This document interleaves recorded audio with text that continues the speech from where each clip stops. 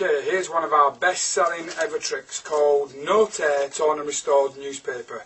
You can do it to music, silent, I always do it with gags. In fact, it now comes with a DVD teaching you all the moves and everything, and all my jokes are actually on the DVD.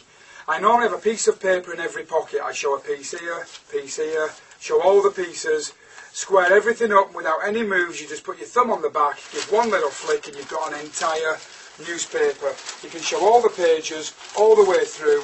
Has to be the cleanest, best, torn and restored newspaper in the world.